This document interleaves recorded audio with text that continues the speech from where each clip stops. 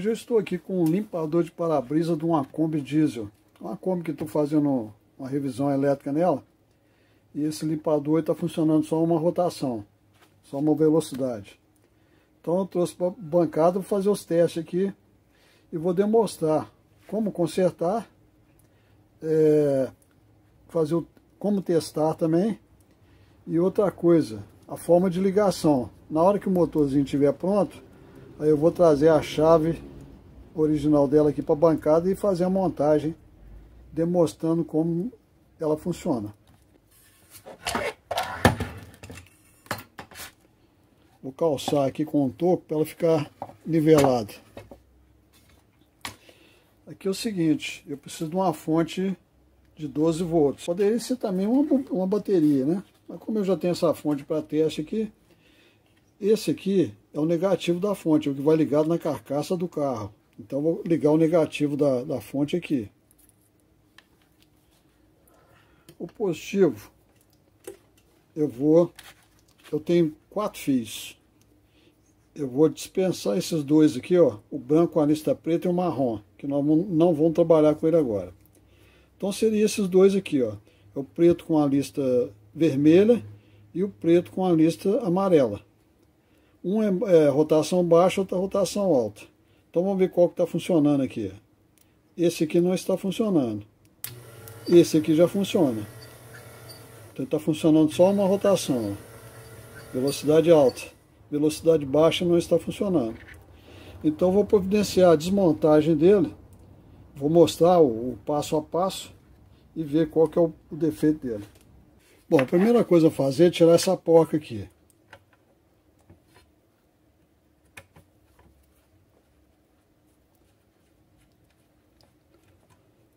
Tirando ela, tem uma roelinha aqui também.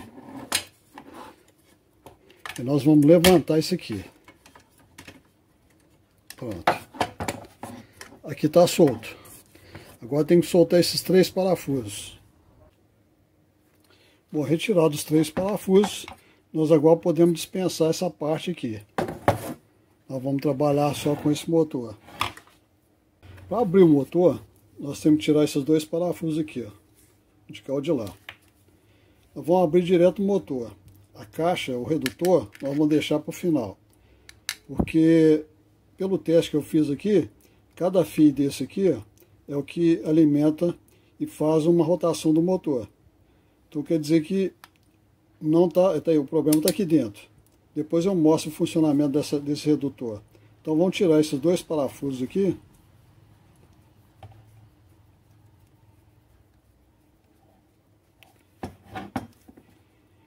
Pegar a porquinha, senão é aquela para dentro do motor. Por causa do imã muito forte. Se bem que se cair agora não tem problema não, que eu estou abrindo o motor. Aqui, ó. Aí separa ele para não, não perder.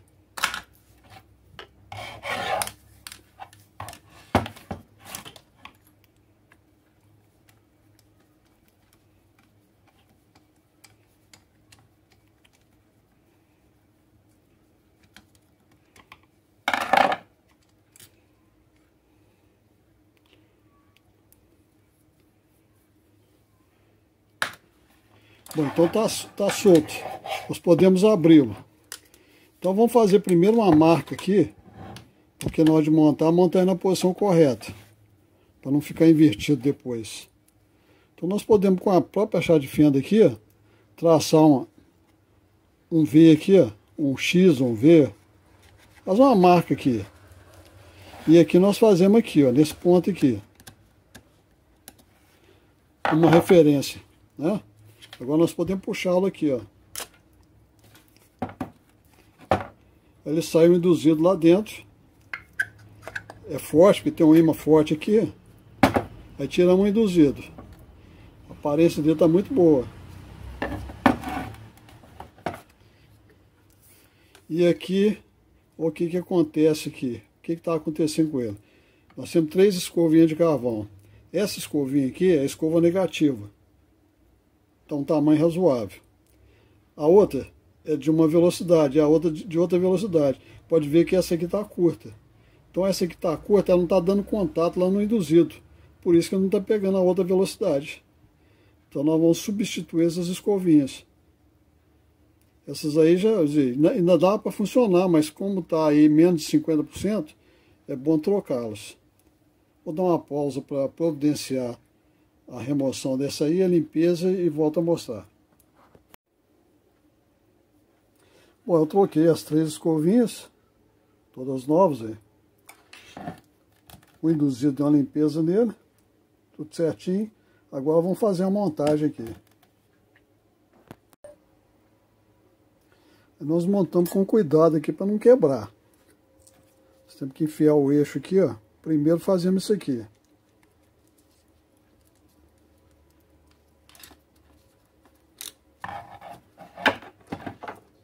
Temos que prender esse covinho aqui, ó.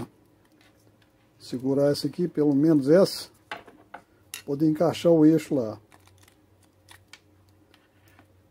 Depois nós vamos puxando uma por uma aqui. Trazendo para cá com a chave de fenda. Para poder encaixar lá. Vou dar uma pausa aqui só para poder encaixar. Bom, montei o induzido no lugar. Agora mais um macetezinho aqui para poder montar a carcaça. Bom, agora para colocar a carcaça no lugar, nós temos que colocar a porquinha aqui no eixo saída e segurar com a chave aqui. Por que isso? Porque se não fizer isso, na hora de colocar a carcaça, o imã puxa o induzido. A engrenagem gira e joga para fora. E aqui eu estou segurando a engrenagem, para não deixar ele, ele sair aqui. Ó. Aí nós pegamos a carcaça, identificamos a marca que fizemos na hora de desmontar. Aqui, ó, X aqui. Ele vai coincidir com aquele ponto lá. Então vamos montar a carcaça no lugar. Segura lá e encaixa aqui, ó. Cuidado para poder encaixar no eixo direitinho. Encaixou certinho. Agora é só colocar os dois parafusos. Nós pegamos o parafuso, tiramos a porca dele e com cuidado, porque se soltar aqui ela vai para dentro dentro do motor e nós temos que abrir de novo lá. Coloca ela aqui com a chave de fenda segurando ali, ó. Descemos ela até nivelar. Aí com o parafuso a gente coloca aqui e atarracha ele. Depois que ele pegar na porca, aí nós podemos soltar a porca lá. Vamos, não apertar ele todo não, só tem que encostar. Aí nós vamos colocar o outro do outro lado. Fazer a mesma coisa. Tira a porca, coloca ela lá, segurando com a chave de fenda.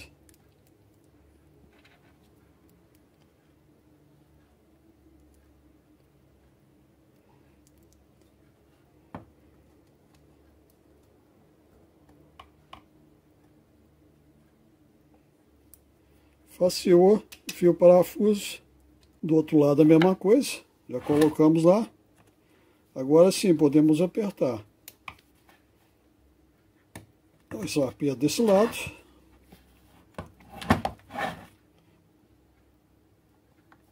O aperto do outro. E agora vamos testar o motor para ver se ele funcionou direitinho. Para depois então a gente montar no conjunto lá. Aliás, abrir o redutor fazer a lubrificação e montar no lugar. Bom, já liguei o negativo da fonte. Agora vamos fazer o teste, os dois fios pretos. Um tem que dar baixa rotação e outra mais alta. Tá, rodou. Vamos ver o outro agora. Então esse aqui é o lento e esse aqui é o rápido. Funcionou perfeitamente. Bom, agora vamos abrir o redutor. Nós temos quatro parafusos aqui.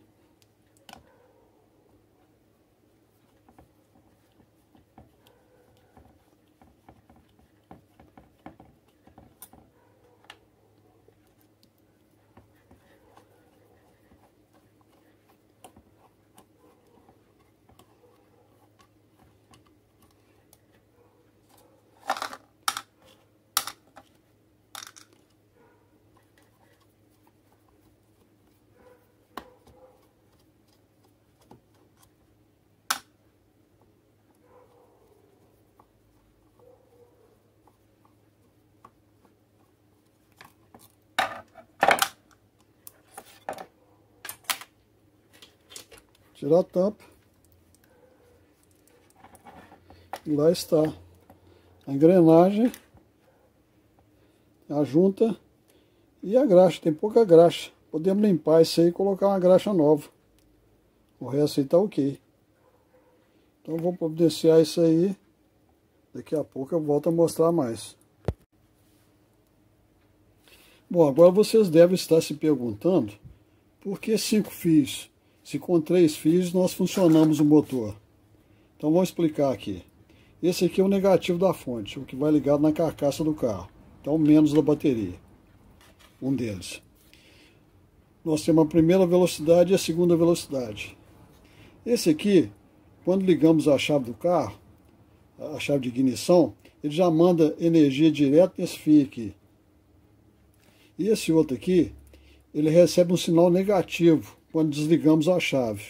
Para que isso? Quando desligamos a chave do limpador. Esse aqui quando ligamos a chave de ignição e esse aqui quando ligamos, desligamos a chave do, do limpador, ele manda negativo nesse fio. Por que isso? O motor parar sempre naquela posição. Então esse aqui é chamado freio, freio do motor.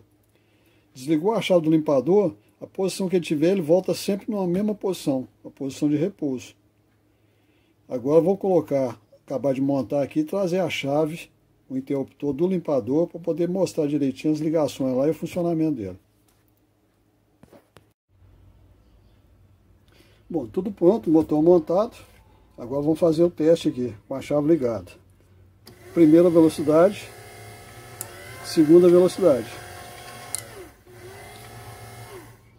Desliguei, ele parou ali. Olha de novo. Primeira velocidade, segunda velocidade. Desliguei, ele parou. Só que ele está parando fora da posição.